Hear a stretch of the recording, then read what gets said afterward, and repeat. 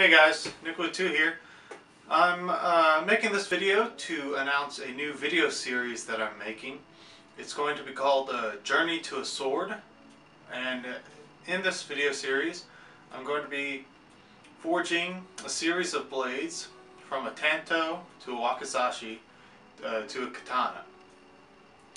Uh, I'm going to be documenting as much uh, uh, you know of the material as I can um, through uh, you know with the video and audio recordings. Uh, I might. It depends on uh, what you guys want. If you guys want me to uh, voice over the videos, I can. I might be able to do that. If you want to just watch the videos and, and listen to the hammers falling, that's fine. Just let me know in the comments below. Uh, but the the plan is to be is to have videos about five minutes long, five to ten minutes long, each week, and uh, uh, you know documenting the process of making these three blades. So I'm going to be making a tanto, and then a wakizashi, and then a katana. Uh, doing this in the process to give me experience uh, of learning and you uh, the process of how a sword is made. So I've got some materials already. I've got, uh, these are two bars of uh, 5 ace uh, W1 drill rod and uh, this is my starting material. I've got enough material to make a, a, a tanto and a wakizashi in one and then the katana in the other and I have uh, an extra uh, in case something goes wrong, which it might, and uh, I'll document that if that happens. Uh, if you guys want to support me, you can go to my uh, website, woometalworks.com, links in the description. You can purchase a, a knife or a uh, other blacksmithing project, and that money will directly come back to this video series in uh, materials for the blades. I still need to get wood, sandpaper, files, uh, and a lot of other things.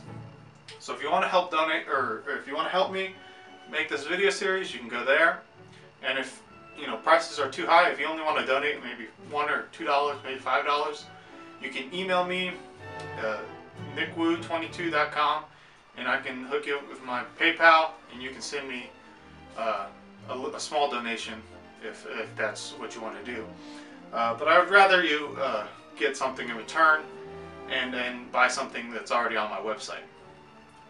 So I'm going to uh, be documenting the whole process. Uh, I'm going to be filming how to make tools because uh, you need tools to make uh, like the sayas, the, the, the scabbards and the and handles. You need tools to like a sin to remove metal. So if I if I make something in relation to the sword, not just the sword, I'm going to uh, add that in the process as well.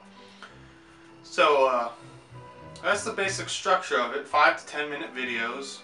They may be voiceover, they may be not, maybe a mixture of both. It all depends on you guys what you want to see.